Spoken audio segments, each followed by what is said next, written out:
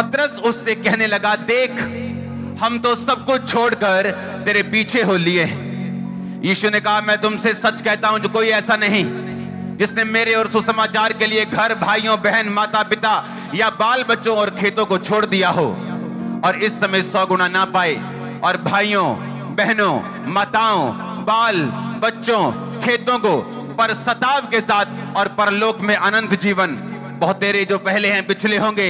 जो पिछले हैं, वो पहले होंगे। इस वचन के लिए ज़ोर से बोलो आमी ऊँची आवाज़ से बोलो आमी आज जो वचन मैं आपको देने वाला हूँ, ध्यान से सुनना। बहुत साल पहले जब मैं पहले दिन कॉलेज में गया, मेरा इंजीनियरिंग का कॉलेज, बहुत सारे लड़कों को मैंने देखा उधर। क्योंकि वो चंडीगढ़ के पास था, चंडीगढ़ के लड़कों को देखा। वो लड़ने में बहुत तेज थे ऐसे स्टूडेंट्स थे, लड़ाई में बड़े तेज थे। लड़कियों के लिए बड़े वो अट्रैक्शन का कारण थे। एक लड़का जिसके पटे थे, यहाँ तक लड़कियों के जैसे जैसे लंबे लंबे उसने बाल रखे हुए थे, सब उसको देख के बोलते थे वाह लड़कियाँ बोलती थी वाह लड़के बोलते थे, क्या बात है, बदमाशी में ये वो एक आइकॉन था वो। नशों में चला गया, नशों में था। आज वो इस दुनिया में, उसको छोड़े हुए इस दुनिया को, पंद्रह साल हो चुके, शायद चौदह साल हो चुके। दुनिया उसको एडमायर करती थी, लेकिन आज वो इस दुनिया में नहीं, मर चुका है। बहुत से ऐसे लोग नशा करते मेरे साथ मेरे दोस्त, वो मर चुके आज दुनिया में नहीं। मैं बचाया गया हूँ, इसलिए आपके सामने खड़ा हूँ। और जीसस का थैंक्स करता हूँ कि मैं ज़िंदा हूँ आज। उनकी तरह मरा नहीं हूँ, क्योंकि उसी कॉलेज में मैं था, उससे ज़्यादा नशों में मैं चला गया था। आज सिंपल हम उसी तरह सेलिब्रेट नहीं करेंगे, जिस तरह आम हम रीति रिवाजों के साथ करते हैं। आज आप वचनों को सुनेंगे और उसे उस पर चलेंगे और मेरा बिलीव है, आपकी लाइफ आज सेम नहीं होगी यीशु मसीह के नाम में। लोग उसको एडमायर करते थे। लाइफ आपको ज़्यादा मौके नहीं देती। यीशु मसीह ने कहा, जो मेरे लिए सब कुछ छोड़ देगा, वो परलोक में अनंत जीवन भी पाएगा और मैं यहाँ पर उसको घर भी दूँगा, यहाँ पर खेत भी दूँगा, यहाँ पे भाई भी दूँगा, यहाँ पे लोग भी दूँगा। यीशु मसीह ने कहा, अगर तूने मेरे लिए छोड़ दिया कुछ, अपने भाई को छोड़ दिया क्योंकि तू मसीह में आया, तेरे भाई ने तेरा विरोध किया। तूने दोस्त को छोड़ दिया, कुछ टाइम के लिए घर को छोड़ दिया, कुछ टाइम के लिए खेत को छोड़ दिया। परमेश्वर ने कहा, मैं सब कुछ तुम्हें दूँगा। उसने ये नहीं कहा, मैं तुम्हें सिर्फ़ अनंत जीवन दूँगा।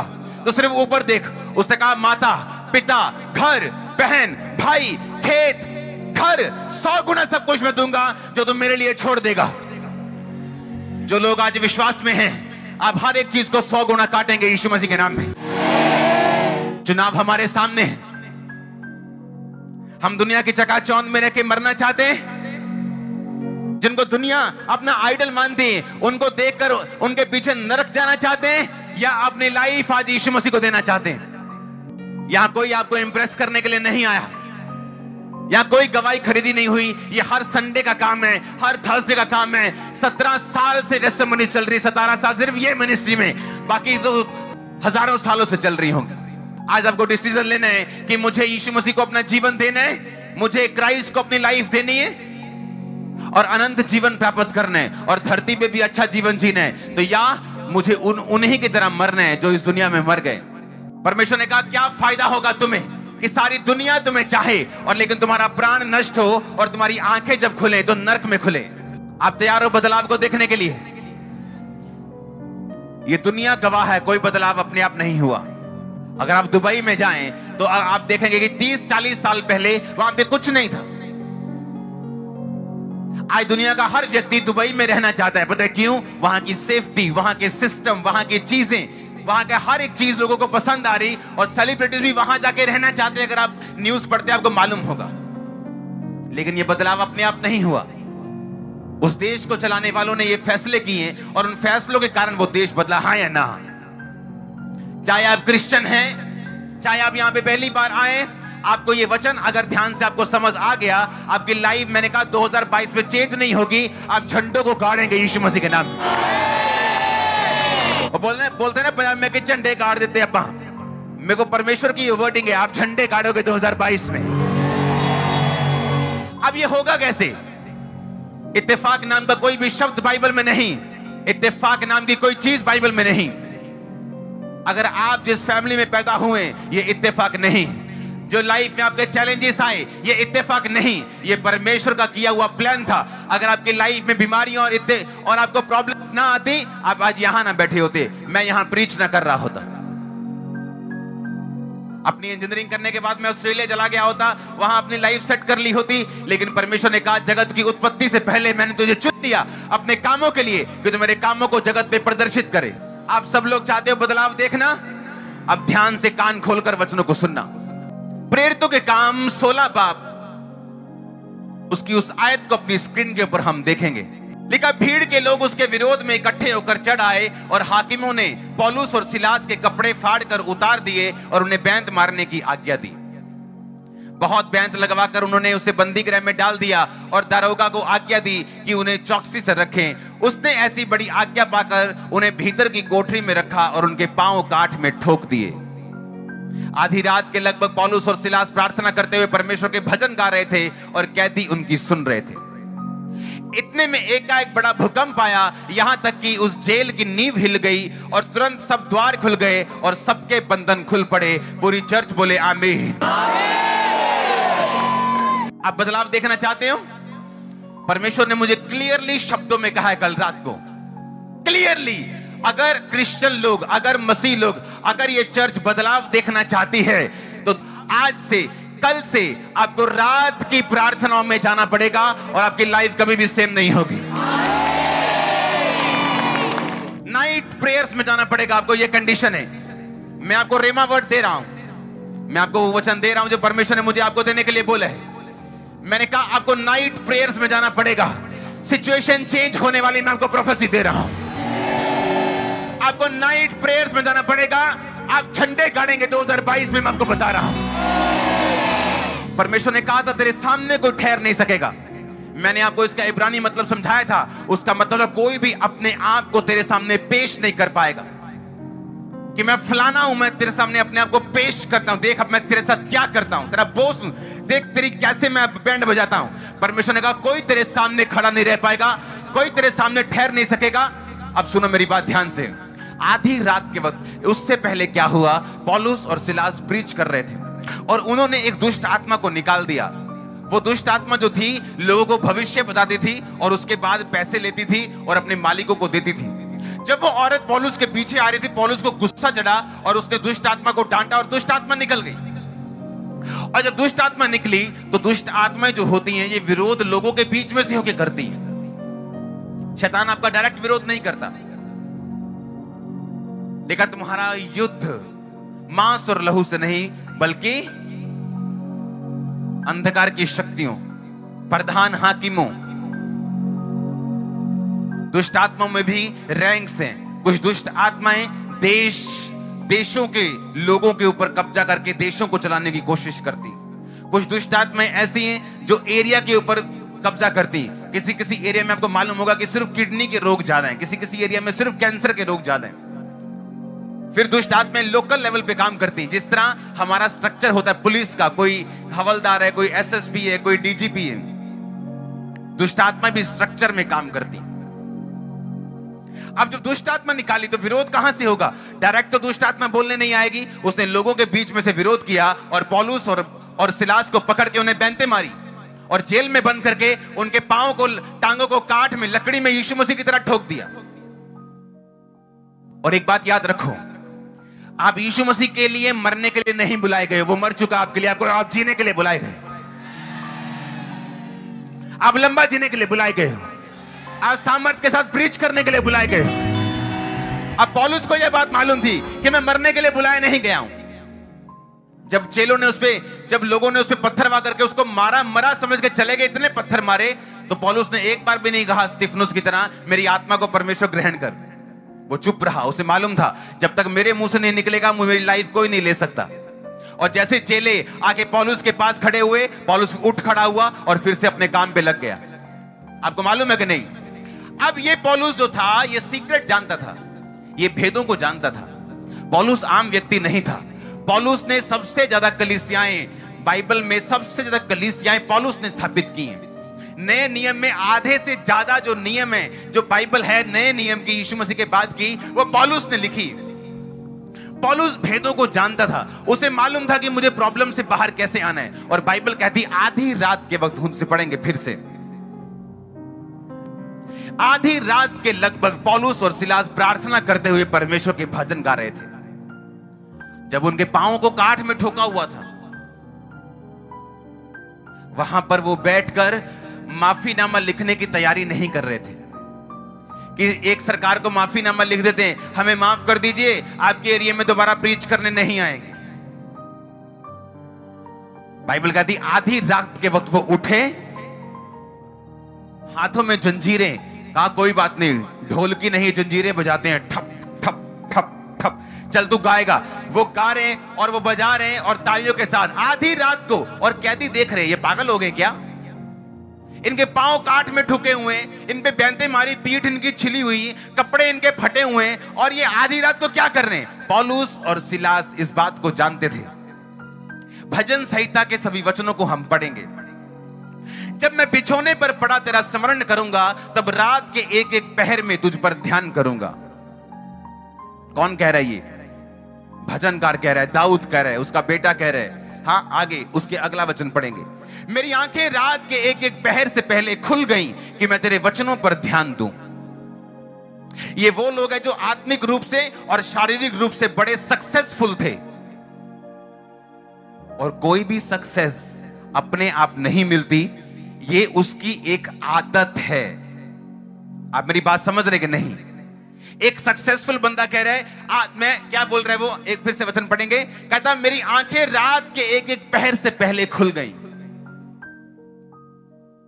अगर आप क्रिश्चियंस हैं और पूरी रात सोते हैं मैं आपको दावा करता हूँ लिख के देता हूँ शैतान आपका पीछा नहीं छोड़ेगा आपको फाइट करनी पड़ेगी और आप जीतेंगे नहीं। आप कहेंगे मैं बहुत अच्छा हूँ लेकिन यह मुसीबत क्यों नहीं पीछा छोड़ रही मेरा? ये प्रॉब्लम क्यों नहीं जा रही? मैं प्रेयर भी कर रहा हूँ, मैं मैं ये भी कर रहा हूँ, मैं बड़ा, पवित्रताई में भी हूँ, लेकिन एक खास तरह की मुसीबत है, एक खास तरह की जो एक ब्रेक थ्रू है, जो आपको चाहिए, वो आपको नहीं मिल रहा। नाइट प्रेयर डाउट कह रहा रात के एक एक पहर से पहले मेरी आँखें खुल गई। मेरी वाइफ जानती रात को मैं कैसे प्रार्थना करता हूँ। कुछ भी हो नाइट प्रेयर को मैं अपने रूम में आपको मिलूँगा। जब परमेश्वर ने मुझे लोग देने शुरू किए और वो लोग जब लाखों में होते गए अगर आज आप यहाँ लाखों में बैठे लाखों ओवरफ्लो में बैठे लाखों ब्रांचेस में बैठे जब लाखों लोग हुए सुनो मेरी बात तो आ, आप जानते लोगों के दिल में क्या है मुझे नहीं मालूम। वो भीड़ को कैसे लेते मुझे नहीं मालूम। उनके लिए इंटरटेनमेंट है ये मुझे नहीं मालूम। लेकिन सुनो मेरी बात। लेकिन मैं परमेश्वर से बोल रहा था कि परमेश्वर ये सारे लोग किसी को कुछ प्रॉब्लम है, किसी को कोई प्रॉब्लम है, किसी को कुछ दिक्कत है, मैं प्रार्थना में कम होके, मैं अपने परिवार में बिज़ी होके, अपने काम में बिज़ी होके कि चर्च कौन सा मुझे तनख्वाह देती है तो मैं अपना काम भी साथ साथ करूँ। मैं अपने काम में बिज़ी होके, अपने परिवार में बिज़ी होके इन लोगों को धोखा देना नहीं चाहता हूँ। क्योंकि अगर मेरी प्रेयर दो घंटे भी है, तब भी परमेश्वर को आपको भेजेगा। मैंने ऐसे पास्टर देखे गलत काम करके भी प्रचार करना नहीं छोड़ते। लेकिन मैं प्रभु से कहा, मैंने कहा, परमेश्वर, मैं लोगों को और तुझे धोखा नहीं दूँगा। अगर तू मुझे इतने लोग दे रहे तो मैं घंटों तेरी हजूरी में बैठा करूँगा, ताकि जब मैं परमेश्वर की प्रेजेंस से यहाँ उठ के जाऊँ तो वचन तेरे लोगों के हृदय में जाए और दिल में छेद करे उन्हें आप मेरी बात समझ रहे कि नहीं? पॉलूस और सिलास को सीक्रेट मालूम था। और वो सीक्रेट था नाइट प्रेयर वो सीक्रेट था रात को परमेश्वर की प्रेजेंस में रहना. वो ढाई घंटे हो सकता है, वो तीन घंटे हो सकता है, वो अगर आप पास्टर हैं, वो चार घंटे हो सकता है, वो पाँच घंटे हो सकता है. लेकिन मैं आपको एक बात बता रहा हूँ। अगर आपने ये सीक्रेट सीख लिया और नाइट आप परमेश्वर की प्रेजेंस में आपने जाना शुरू कर दिया, मैं आपको बता रहा हूँ वो यरीहो की दीवार कितनी बड़ी क्यों नहीं? मैं आपको प्रोफेसी दे रहा हूँ 2022 में गिरने वाली आपके सामने यीशु मसीह का नाम। आमेन, ऊँचा चाहिए मेरे को। हालेलुया। ज़ोर से बोलो, हालेलुया। ये ये वो भेद है जो जो परमेश्वर के लोग जानते थे। किसी का दिल नहीं करता कि उसके पाँव में कील ठुके हों, उसकी पीठ पर बैंते पड़ी हों, उसकी बेजती हो और रात को वो उठकर प्रार्थना करे। किसी का दिल नहीं करता। लेकिन उन्हें मालूम था कि यीशु मसीह इमोशनल परमेश्वर नहीं। हम इमोशन से रोएँगे तो वो हमें छुड़ाने वाला नहीं। हमें वचन पे चलना पड़ेगा और वचन के ऊपर हमें आना पड़ेगा। अब सुनो ध्यान से। लिखा, आधी रात के वो जब वो आराधना कर रहे थे, उस जेल की नींव हिली। सबके बंधन खुले। और लिखा वो सारे लोग आज़ाद हुए। दरोगा डर गया, लोग डर गए, जेलर डर गए, सब डर गए कि ये हो क्या रहा है? अगर आप यीशु मसीह की पावर को एक्टिवेट होता देखना चाहते अपनी लाइफ में, आज से आपको घुटनों पे रात में आना पड़ेगा नाइट प्रेयर्स आपको करनी पड़ेगी। एक और वचन पढ़ेंगे हम, उत्पत्ति। अब ध्यान से समझना, उत्पत्ति। उनके देखते ही याकूब ने कहा यह तो परमेश्वर का दल है, इसलिए उसने उस स्थान का नाम महनेम रखा। तब याकूब ने सैयर देश में अर्थात एदोम देश में अपने भाई एसाव के पास दूत भेजा। और उसने आज्ञा दी, मेरे प्रभु, मेरे भाई एसाव से ही कहना कि तेरा दास याकूब तुझसे यूँ कहता है कि मैं लाबान के यहाँ परदेशी होकर अब तक रहा। मेरे पास गाय, बैल, भेड़, बकरियाँ, गधे, दास, दासियाँ और मैंने जो कुछ प्रभु के पास इसलिए संदेश भेजा है कि तेरे अनुग्रह की दृष्टि मुझ पे हो। वो दूत याकूब के पास लौट कर कहने लगे, हम तेरे भाई एसाव के पास गए थे। वह तुझसे भेंट करने के लिए 400 पुरुष संग लिए चला आता है। याकूब जब बाइबल कहती अपने देश को चला। परमेश्वर ने कहा, जा अपने देश में और अपने लबान को छोड़ दे और जा अपने देश में, मैं तेरे साथ हूँ। और रास्ते में जा रहा है और उसने दूध भेजा, उसने अपने अपने एक लड़के को भेजा, उसने कहा, जा, मेरे भाई साहब से बोल कि मेरे पास गाय बैल बकरियाँ सब कुछ है और मैं तेरे पास कुछ भेंट भेजता हूँ। मेरी भेंट को ग्रहण कर। वो दूत वापिस आके यकूब को बोलता है, तेरा भाई 400 बंदे लेके तुझसे मिलने के लिए आ रहे हैं। आप अपने रिश्तेदार को 400 बंदे लेके जाते हो? मिलते अगर आप किसी अपनी नानी के घर जा रहे हो तो 400 बंदे लेके जाते हो? 100 बंदे लेके जाते हो? 50 लेके जाते हो? लेकिन जब लड़ने जाना हो किसी ने तो वो 400 बंदा लेके जाता है। जब फाइट करनी हो तो बंदे लेके जाता है। जब मन साफ़ ना हो तो वो बंदे लेके जाता है। हाँ या ना? कोई 400 बंदा लेके मिलने नहीं जाता। अगर उसकी सिक्योरिटी भी होती तो हाथ हाथ से हाथ पच्चीस बंदे ले जाता। चार सौ बंदा लेके मिलने के लिए गया। जब याकूब ने यह सुना कि वो 400 आदमी लेकर मुझसे मिलने के लिए आ रहा है, बाइबल कहती वो डर में पड़ गया और वो घबरा गया और बाइबल कहती उसने अपनी औरत को, अपने बच्चों को दल दल करके आगे भेज दिया और रात को पीछे रह गया। और जब वो अकेला रह गया रात को, बाइबल कहती उसने पौ फटने तक यानी फुल नाइट तक जब तक भोर नहीं हुई, उसने प्रार्थना की और वो स्वर्ग दूत के साथ लड़ता रहा, चौबीस आयत को हम पढ़ेंगे। याकूब, आप अकेला रह गया और कोई पुरुष पौ फटने तक उससे मल्ल युद्ध करता रहा, यानी एक स्वर्ग दूत उससे लड़ता रहा आगे। जब उसने देखा कि मैं याकूब पर प्रबल नहीं होता तो उसने उसकी जांग की नस को छुआ और याकूब की जांग की नस उससे मल्ल युद्ध करते ही चढ़ गई। उसने कहा मुझे जाने दे क्योंकि भोर होने वाली है। यकूब ने कहा, जब तक तू मुझे आशीर्वाद ना दे, तब तक मैं तुझे जाने नहीं दूँगा। उसने यकूब से पूछा, तेरा नाम क्या है? उसने कहा, याकूब। उसने कहा, तेरा नाम अब याकूब नहीं, इज़राइल होगा, क्योंकि तू परमेश्वर से और मनुष्यों से भी युद्ध करके प्रबल हुआ है। याकूब को मालूम था कि जो मुसीबत मेरे सामने है, इसमें मेरी स्ट्रेटजी काम नहीं करेगी। मेरी मिन्नतें काम नहीं करेंगी। क्योंकि याकूब ने एक समय अपने भाई को धोखा दिया था और अब उस धोखे को बैक करने का पे बैक करने का टाइम आ चुका था। वो डर गया, उसे मालूम था, अब एक ही चीज़ मुझे बचा सकती वो है रात प्रार्थना। और वो पूरी रात प्रार्थना करता रहा और स्वर्गदूत के साथ, यानी युद्ध करता रहा। और स्वर्गदूत ने कहा, मुझे जाने दे, भोर हो गई। उसने कहा, नहीं, जब तक तू मुझे ब्लेस नहीं करेगा। उसने कहा, तेरा नाम क्या है? स्वर्गदूत ने कहा, उसने कहा, मेरा नाम याकूब है। याकूब का मतलब है धोखा देने वाला। उसने कहा, अब से तेरा नाम याकूब नहीं इसराइल होगा, जिसका मतलब है शुद्ध मन वाला। उसने कहा, क्योंकि तू धोखा देने वाला है, इसीलिए तेरा भाई तुझे मारने के लिए आ रहा है, क्योंकि अब तेरा न्याय का टाइम आ चुका है। आप मेरी बात समझ रहे कि नहीं? जो तू बोएगा, वो तू अब याकूब को मालूम था कि मुझे अगर ये मुसीबत से बचना है, मुझे कुछ बदलना पड़ेगा। और वो रात प्रार्थना में गया और स्वर्गदूत ने उसके नाम को चेंज किया और जब उसने नाइट प्रार्थना की, परमेश्वर ने एसाव के दिल को बदला और उसने उसे मारने का विचार छोड़ दिया। अब आपको समझ आ रही, वो मुसीबत क्यों आपका पीछा नहीं छोड़ती? अब आपको समझ आ रही कि वो खास एक तरह की मुसीबत जो बार बार जिससे आप फाइट कर रहे हैं, वो क्यों आपको छोड़ के नहीं गई? वो डिले जो आप एक्सपीरियंस कर रहे हैं अपने फाइनेंस में, अपनी मैरिड लाइफ में, अपनी मैरिज होने में, वो देरी जो अपने कामों में आप महसूस कर रहे हैं, उसके पीछे अब क्या कारण आपको समझ आ रहा होगा? परमेश्वर ने यह नहीं देखा कि ये पॉलुस और सिलास है या याकूब है, उसने कहा, अगर तू मेरे वचनों के ऊपर चलेगा, रात के कहता एक एक पहर के पहले मैंने तेरे वचन के ऊपर क्या दिया? ध्यान दिया। इसका मतलब उसने बाइबल पढ़ी होगी, उसने प्रेयर की होगी, उसने परमेश्वर की ओर ध्यान लगाया होगा। आपकी बॉडी रात को रिपेयर करती है अपने आप को, पता है कि नहीं? हम्म? जब आप सोते हैं तो आप फ्रेश उठते हैं। फ्रेश का क्या मतलब? क्या हो जाता है अंदर? क्योंकि सारा दिन आपके दिमाग में, आपके दिल में, आपके ब्लड में, आप काम करते हैं, मशीनरी को चलाते हैं। और रात को जब आप सोते हैं, आपकी मशीनरी अपने आप को रिपेयर करती है। और जब सुबह आप उठते हैं, आप फ्रेश होते हैं। एक शरीर को मालूम है कि रात को हम मुझे अपने रिपेयर करनी अपना काम करने लेकिन आत्मिक लोगों को यह मालूम नहीं कि अगर शरीर अपना काम रात को करता है तो आत्मा भी अपना काम रात को करती है। लेकिन उसे मालूम नहीं। उसे सोना है नौ बजे, उठना है सुबह आठ बजे। आपने तो रिकॉर्ड तोड़ दिए सोने के। रात को 10 से 12 बजे आप फेसबुक चला सकते हैं। रात को 10 से 12 आप कंप्यूटर चला सकते हैं। आप ब्लू फ़िल्म में देख सकते हैं, लेकिन प्रेयर नहीं कर सकते। इसलिए हालत ऐसी हो चुकी है।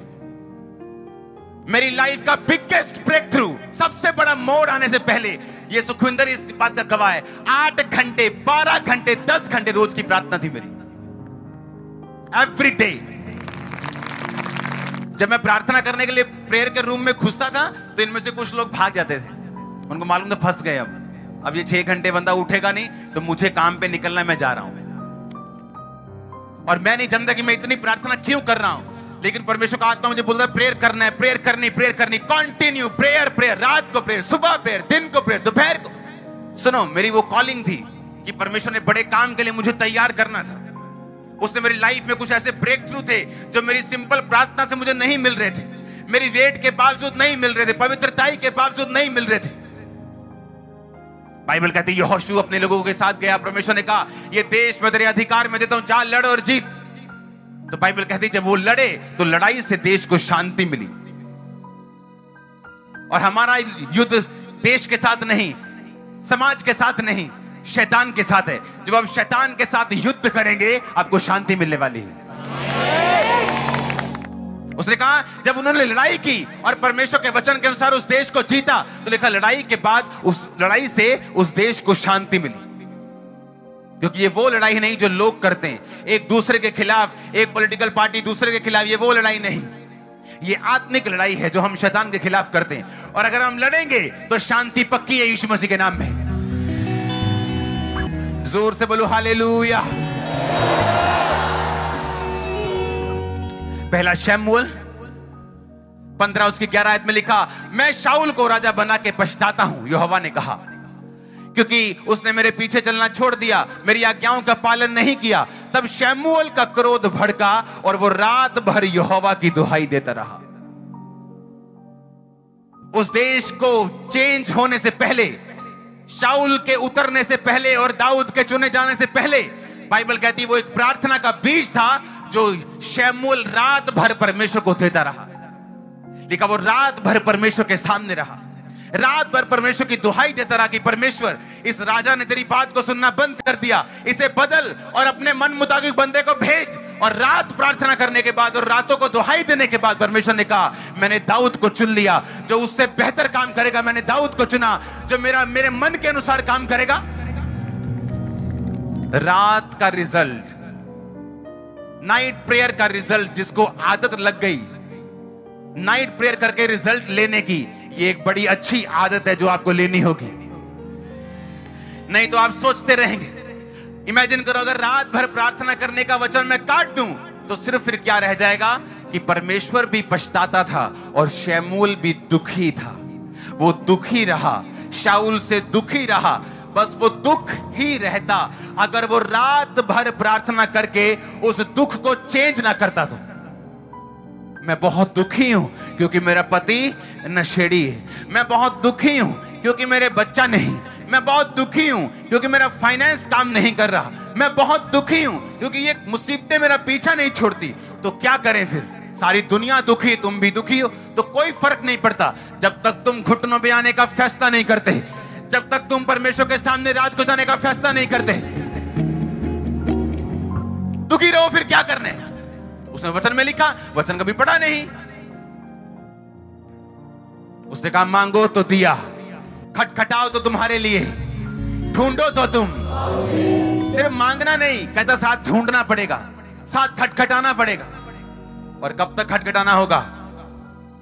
और रात को खटखटाना होगा, सुबह खटखटाना होगा। दोपहर को खटखटाना होगा। आमे लुका छे उसकी बारह आयत में लिखा, उन दिनों में जब वो पहाड़ पर प्रार्थना करने गया तो परमेश्वर से प्रार्थना करने में सारी रात बिताई। बाइबल की पहली किताब उत्पत्ति से लेके, बाइबल के पहला राजा शाउल से लेके जो फ़र्स्ट किंग था यीशु मसीह का, यानी यहोवा का इसराइल का। मैं सच कह रहा हूँ कि नहीं? बाइबल की पहली पुस्तक, बाइबल का पहला राजा नबियों से लेके, दाऊद से लेके, सुलेमान से लेके, यीशु मसीह से लेके, पौलुस तक ये जानते थे कि रात की प्रार्थना नहीं होगी तो बंधन नहीं टूटेंगे। सब जानते थे। सब जानते थे। याकूब जानता था रात की प्रार्थना होगी तो काम होगा। इसलिए उसने सारी औरतों को बोला कि औरतें जाओ, बच्चे जाओ, सब चले जाओ। मुझे रात अकेले रह के प्रार्थना करनी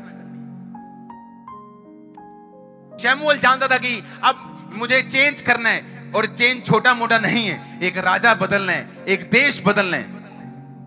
रात प्रार्थना की।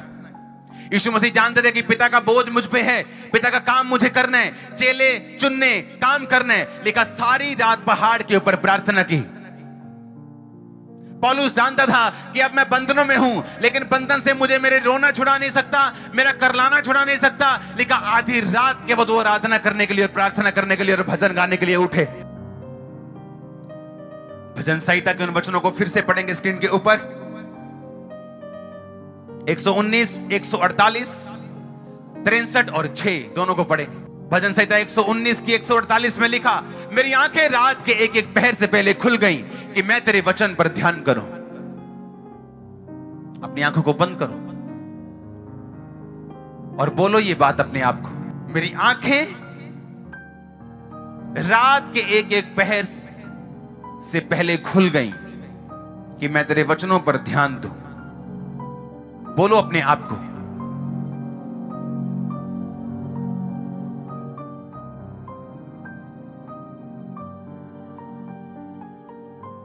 तिरसठ उसकी छह आय। जब मैं बिछोने पर पड़ा, तेरा स्मरण करूँगा, तब रात के एक एक पहर पे तुझ पर ध्यान करूँगा। ये वो लोग थे, जो छियासठ लड़ाइयाँ लड़के भी छियासठ जीते और देश की इकोनॉमी को कुछ नहीं हुआ। ये वो लोग थे, शैमुल के जैसे, कि सारी उम्र एक भी वचन धरती में परमेश्वर ने किंदे नहीं दिया बेस्ती नहीं होने दी। ऐसा नहीं था, कुछ भी बोल दो, पूरा हो गया, डाल दो, नहीं पूरा हो, काट दो। ये ड्रामेबाजी नहीं थी शैमुल के पास। वो रात का प्राणी था वो। एलिया रात का प्राणी था। पॉलुस रात का। यीशु मसीह रात को। कहा पंजाबी कहते ना, कितने कुंडी फसी इथे फसी। आई समझ, कितने फसी? कितने फसी? इथे फसी कुंडी। ਇੱਥੇ ਕ੍ਰਿਸਚੀਅਨ ਲੋਕਾਂ ਦੀ ਕੁੰਡੀ ਫਸੀ एक इथों निकल गए मैं आपको सच कह रहा हूं मैं आपको ये आपको मैं मुहावरा नहीं दे रहा हूं आप झंडे गाड़ोगे 2022 में झंडे मैं सिर्फ आधा घंटा रात की प्रार्थना की बात नहीं कर रहा हूं हाँ ਕਿ ਰਾਤ ਨੂੰ ਲੰਚ ਦਾ ਟਾਈਮ ਹੈ ਰੋਟੀ ਦੇ ਕੀਤੀ 2 ਮਿੰਟ ਵਿੱਚ ਪ੍ਰਭੂ ਜੀ ਬਰਕਤ ਦੇਈ ਪ੍ਰਭੂ ਜੀ ਨੂੰ ਸ਼ੁੱਧ ਕਰੀ ਪ੍ਰਭੂ ਜੀ ਇੱਕ ਅੱਖ ਹੱਲੇ ਵੀ ਰੋਟੀ ਦੇ ਉੱਤੇ कि ठंडी ना हो जाए कितने। ये वो वाली प्रेयर नहीं। है क्योंकि रात को आप डिस्टर्ब नहीं हो। आपका बॉस आपको कॉल करके नहीं पूछेगा कि क्या किया। रात को शैतान आपको पाप की ओर खींचेगा और आपको परमेश्वर की ओर जाना है। रात या तो बनाएगी या तो बिगाड़ेगी आप बॉडी को पता रात को रिकवर करना लेकिन स्पिरिचुअल आदमियों को यह नहीं पता कि रात को हमने अपनी स्पिरिट को चार्ज करना है। आप समझ गए कि नहीं? कहाँ फंसे हुए वो सींग? कहाँ प्रॉब्लम है? कहाँ वो दिक्कत है? क्यों वो काम नहीं हुआ? आपके अच्छे होने के बावजूद भी अब आपको समझ आ रही होगी। जिस दिन आप घुटने लगा दोगे, उस दिन आसमान खुल जाएगा आप लोगों के जिस दिन आपने सोच लिया कि नाइट आज से खुदा बंद की है अब औरतों को मालूम है कि मुझे घर का काम करना है, मुझे खाना बनाना है, अपने घर की देखभाल करनी तो विजडम से रात को प्रार्थना कर सकती। आदमियों को मालूम है टाइम कब निकालना है और कब प्रार्थना करनी। टाइम किसी के पास नहीं, टाइम निकालना होता है। अपनी चीज़ें निर्धारित करनी होती, अपनी प्रायोरिटी निर्धारित करनी होती कि मेरे जीवन में प्रथम क्या है, ये निर्धारित करना पड़ता है हमें। ऐसे लोग हैं दुनिया में जो दिन में पाँच बार अपने अपने धर्म की चीज़ों को पढ़ते हैं। और उस देश का राजा भी पढ़ता है, उस देश का प्रधानमंत्री भी पढ़ता है, और आप बोलते हो कि आपके पास प्रार्थना करने का समय नहीं अपने हाथों को उठाओ थैंक यू जीसस आप वायदा कर रहे हैं खुदाबंद से रात प्रार्थना का। अपने हाथों को उठा